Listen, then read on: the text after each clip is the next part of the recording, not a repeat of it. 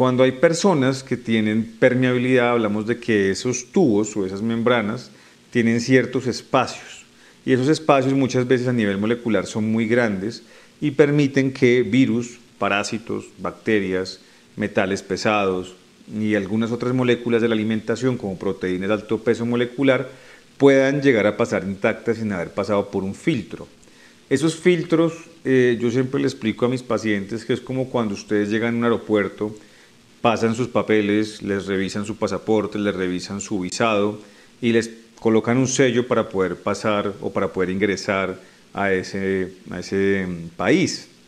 Eso mismo hace, digamos, la comida y eso mismo hace el oxígeno que nosotros respiramos. Ellos llegan a unas células, piden unos papeles de inocuidad y ingresan a ese medio ambiente interno. Pero muchas veces esas moléculas no hacen esa gestión de presentar esos papeles y pueden llegar a pasar a la sangre de forma intacta. Ahí es cuando el cuerpo se defiende. ¿Qué hace el cuerpo en ese momento? Comienza una reacción inflamatoria que se vuelve aguda, es decir, en ese momento el cuerpo produce secreción, produce moco, líquido, y comenzamos a devolver esas sustancias al medio ambiente exterior. Soy el doctor Benjamín Ramírez, especialista en enfermedades crónicas con un doctorado en bioquímica y nutrición humana. Mi misión con este contenido es ayudarte a entender cómo funciona tu organismo para gozar de bienestar con tu familia.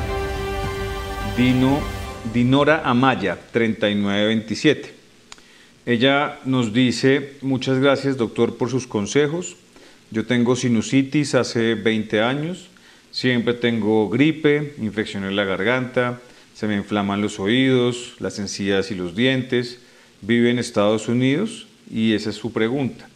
Bueno, y siempre que ustedes nos hacen una pregunta en nuestra caja de comentarios de las diferentes redes sociales, lo más importante es recalcar la enfermedad, los síntomas y la relación que puede tener con los patrones de alimentación.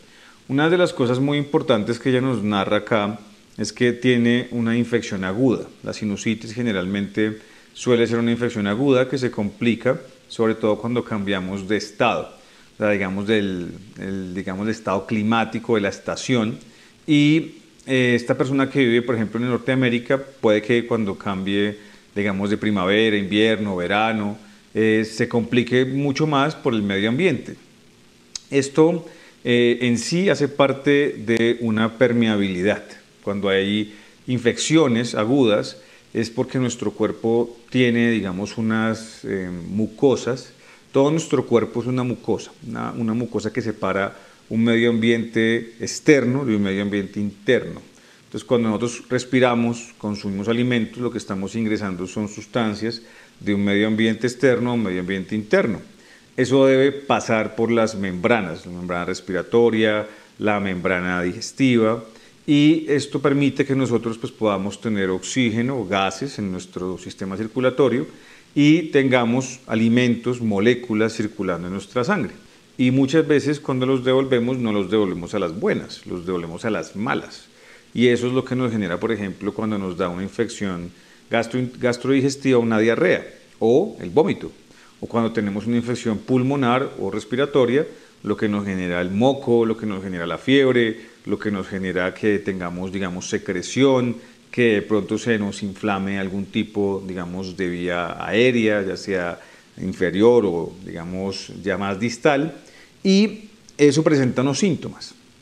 Entonces, muchos de nosotros, con los parámetros de alimentación que tenemos en la actualidad, no tenemos un cuidado en, los patrones de combinación de moléculas. Y eso hace que nuestras membranas sean aún más permeables. Y eso, pues no solamente puede generar enfermedades agudas como la gripa, en este caso la sinusitis que nos comenta Dino, Dinora Maya, sino también pues, nos puede generar una enfermedad autoinmune. De este tipo de patologías seguidas, agudas, desarrollamos enfermedades autoinmunes como el Sjögren, como la artritis reumatoidea, como el síndrome antifosfolípido, como el lupus eritematoso sistémico, como la tiroiditis de Hashimoto. Entonces, por eso muchas enfermedades que hoy en día tratamos, que son crónicas, son o son, hacen consecuencia de enfermedades agudas que siguen y siguen y siguen presentándose por una permeabilidad. Ahí viene un punto importante de nuestras conferencias. Muchas veces cuando tenemos una urgencia, vamos, nos tratan un síntoma, pero no nos tratan el origen. Por ejemplo, si vamos al médico a una urgencia por una gripa, una subida de fiebre, nos hidratan, nos ponen oxígeno, nos dan inhaladores, nos tratan la urgencia y nos mandan para la casa. Pero nunca nos dicen cuál fue en ese momento el origen. Sería muy importante que cuando uno saliera de un servicio clínico, aparte de recibir unas recomendaciones como una epicrisis y qué podemos hacer ante que se, complique la situación en casa, nos dijeran cuál posiblemente fue el origen. Entonces muchas veces el origen de esas enfermedades es la permeabilidad. Esa permeabilidad tiene algo muy importante y es que nosotros no tenemos una buena relación en parámetros de alimentación con nuestros microorganismos.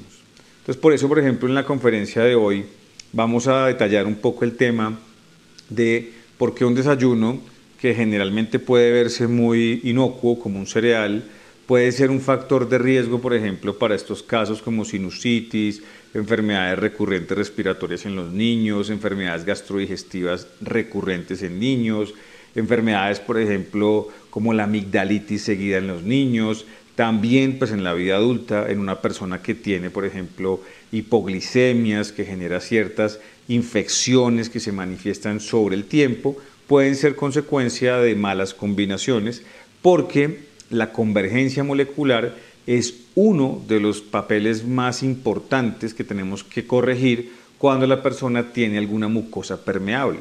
Llámese la mucosa respiratoria, llámese la mucosa digestiva, llámese la mucosa vaginal, la mucosa eh, rectal, cualquier tipo de mucosa, inclusive nuestra piel reacciona de esa misma manera, es una mucosa. Si nosotros somos o tenemos mucosas permeables, por lo general vamos a tener muchos síntomas como los que nos está preguntando aquí Dinora Amaya 3927. Entonces, lo más importante es cambiar un patrón que de pronto no te has dado cuenta. Y ese patrón probablemente en el 90% de los casos es la convergencia molecular. Entonces, con la conferencia de hoy vas a aprender por qué un cereal combinado con otro tipo de sustancias, posiblemente para ti con una sinusitis, con unas infecciones respiratorias recurrentes, no sería el mejor abordaje alimenticio y no sería un desayuno que pudieras sostener en el tiempo si quisiéramos corregir esa permeabilidad que muy seguramente tienes.